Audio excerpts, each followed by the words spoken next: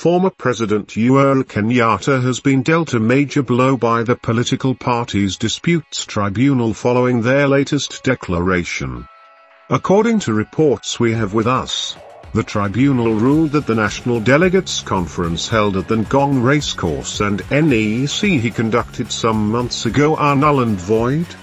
This is to mean that Uhuru no longer has any leadership role in the party. This leaves Kanini Kega and Sabina as the leaders of the party after David Murathe and Jeremiah Kioni were dismissed from the party. This also means that the Jubilee Party will soon be part of Jubilee as the two loyalists of President William Ruto. For a long time former President Uhuru Kenyatta has been fighting for the revival of the Jubilee Party but his opponents have not been giving him an easy time. This declaration has elicited mixed reactions from Kenyans with a section of them telling him to give on politics and retire in peace.